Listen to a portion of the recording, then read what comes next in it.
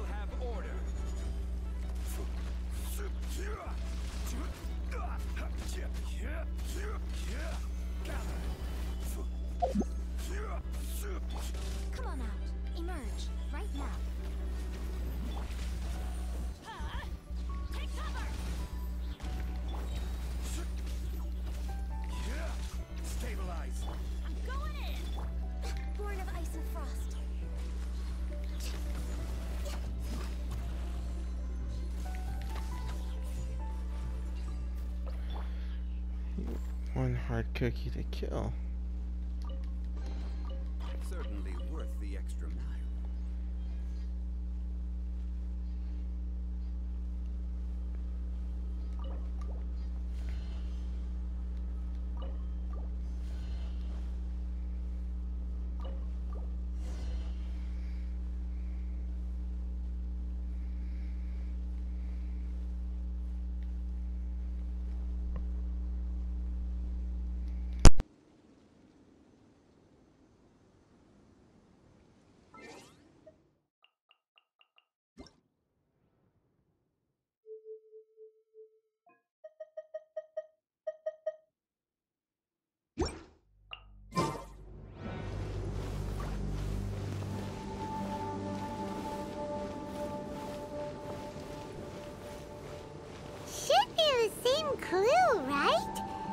The shape looks a little strange this time.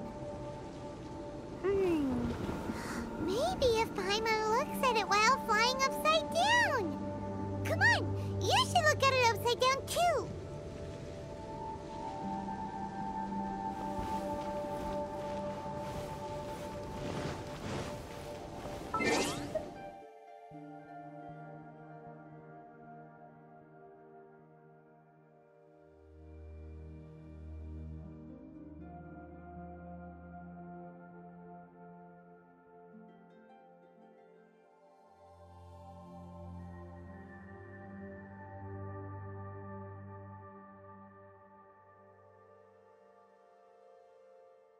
Yep.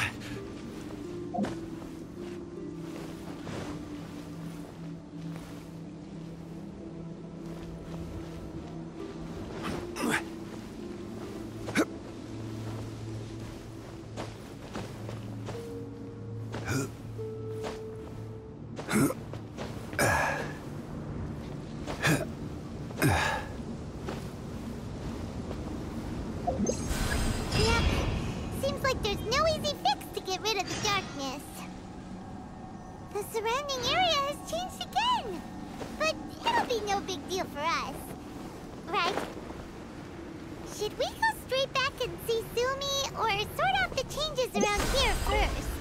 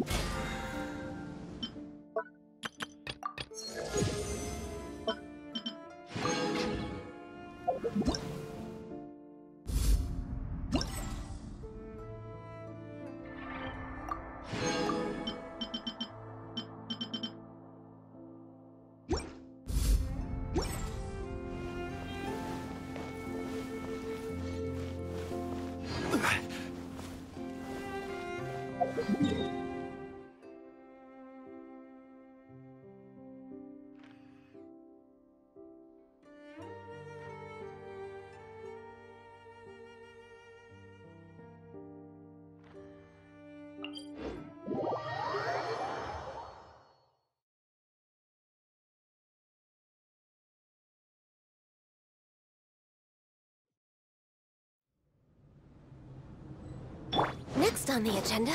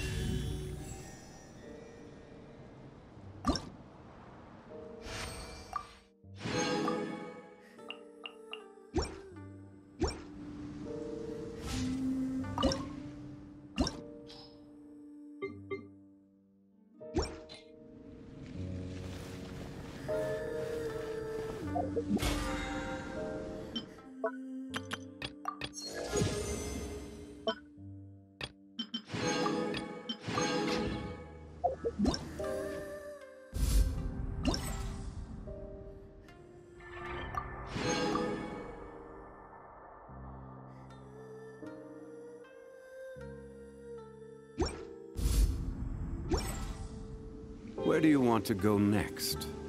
If you'd like to see Liyue's tor-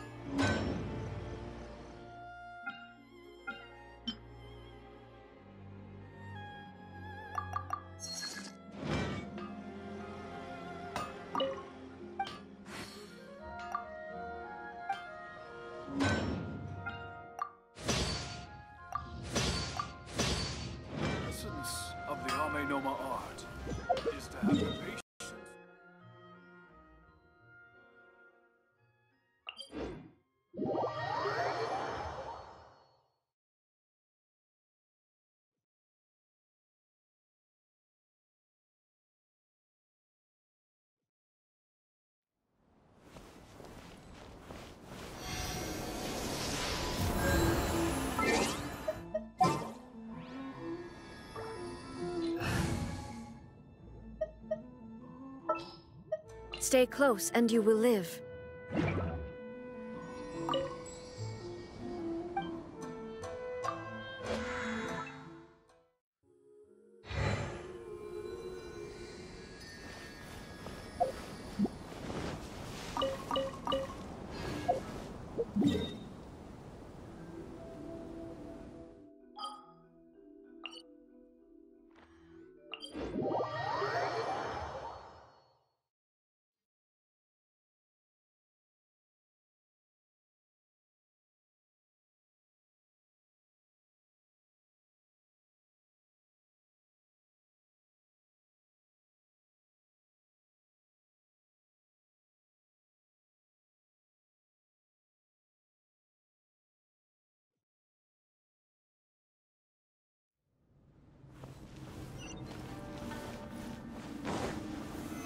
Solidify! Shine down! Cut!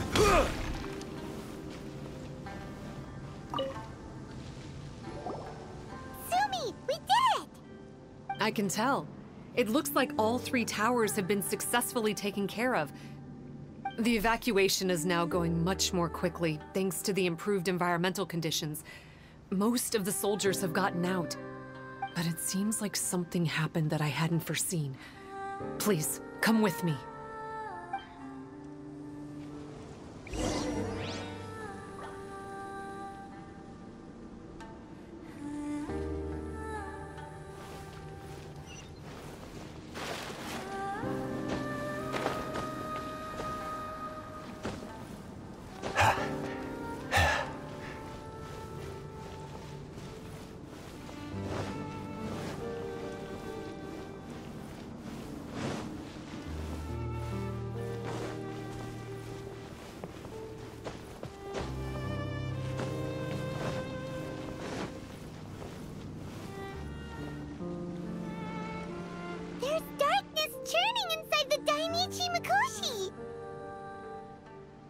Logically speaking, all of Enkanomiya should be back to normal by now.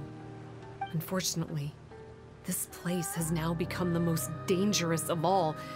I don't know why this is happening or what to do about it. But what I can tell you is the location of the guy behind all of this. I'm going to have to ask you to confront him and make him reveal his whole plan. How did this happen? I've been observing the flow of the darkness and I've noticed something peculiar. There was a faint vortex continuously absorbing the darkness. I can only assume that the flow must be triggered by his need for abyssal energy. He's extremely dangerous. Even most vishaps would be no match for him. Music to my ears. Thank you. If I have deduced correctly, he should be in the library area right now.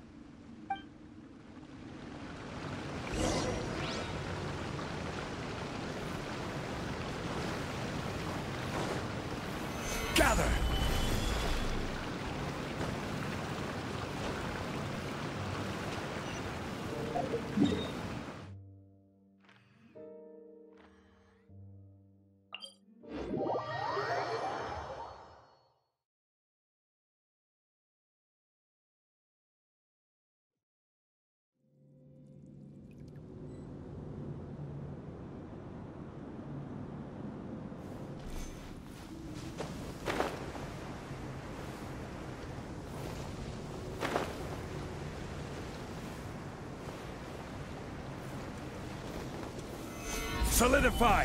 There is no escape! It's him! Oh, hey. I would say this is a nice surprise, but it's really not that surprising. Look at you, venturing out into the darkness, doggedly fighting your way through just to come and see me. You're the only person I can think of who could actually pull that off. Still, what's with you joining forces with them? Didn't expect that. You're just trying to stall for time with small talk again. Huh. I guess maybe you're not so clued up after all. Uh, Look, I understand that seeing me has gotten you a little agitated, but frankly, the fact that you're still so fired up and raring to go after the long journey here is a bit of a problem for me. So, let's burn off that excess energy with a little exercise, huh? Just to calm you down enough to hear me out.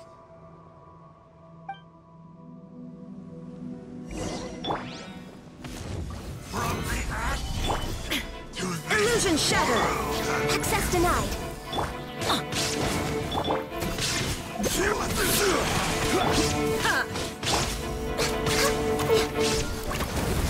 No touching! There is no escape! Let's light it up! time for my is coming. Blaze over! Born of ice and frost! Solidify! Illusion shattered! Torn to oblivion!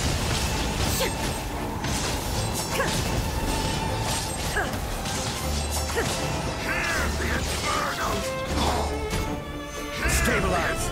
This is order! No touching! Everybody stand back!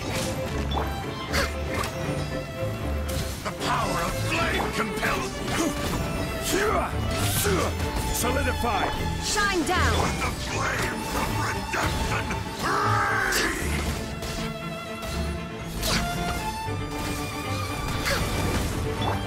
free! Born of ice and frost! A glimpse of the future. Stop, stop. Oh, my life is flashing before my eyes. That woman with the slender pupils, wh- what does she call herself? Huh? How do you know about her? Her name, what is it? Huh. She calls herself Sumi. That reptilian seems to be doing a pretty good job of human imitation. Makes sense, doesn't it? The Bathysmal Vishaps are a highly intelligent and fast-evolving kind. There have been legends about this for over a thousand years now. The Vishap people. Vishap people? Huh. Sounds like the kind of nickname Paimon comes up with all the time. Well, this one comes from an old Enkanomian legend. When the Bathysmal Vishaps were defeated, they began evolving to survive. That is to say, they imitated the victors. Eventually, this gave rise to a line of vishaps who were indistinguishable from humans except for their pupils. These were the Vishap people. The story goes that they gradually infiltrated in Enkanomiya and took over many high-ranking positions. Remind you of anyone? We did hear that Sumi's pupils are vertical. Yep. In good lighting, you can see that Reptile's pupils are thin, vertical lines. That's hard evidence that she's betrayed you right there.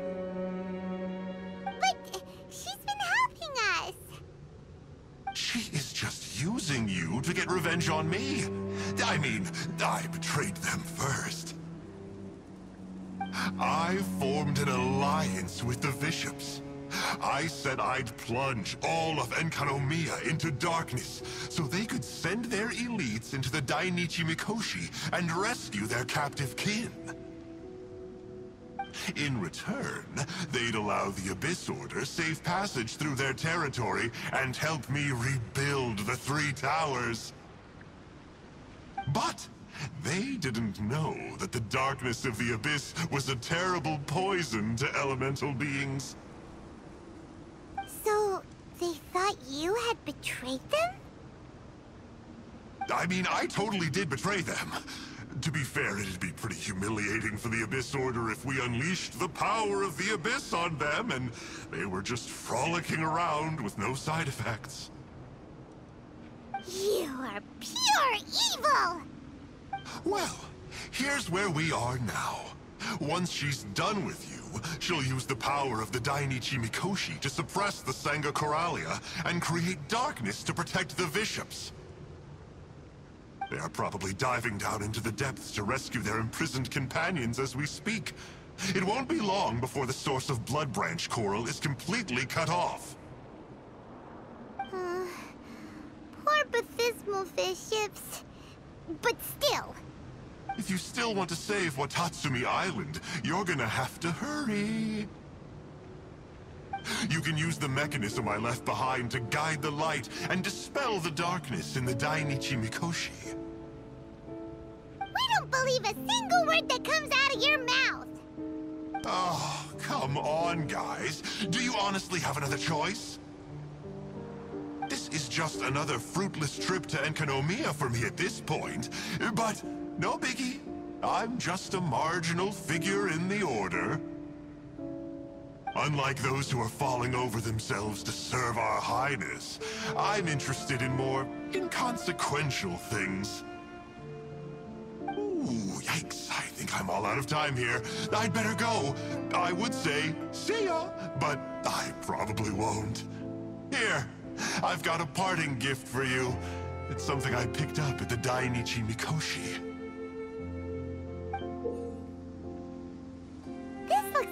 Of the same set as the one that Kokomi gave us.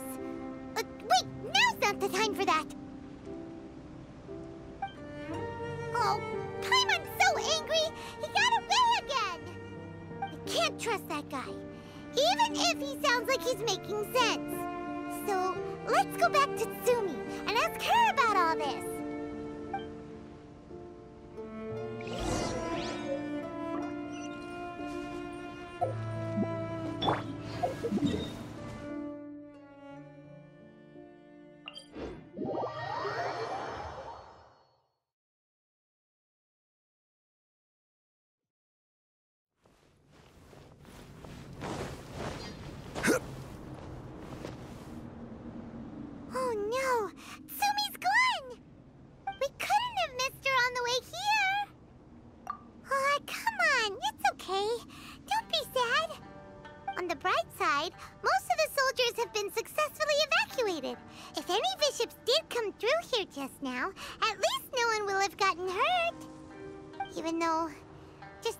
About that guy drives Paimon nuts.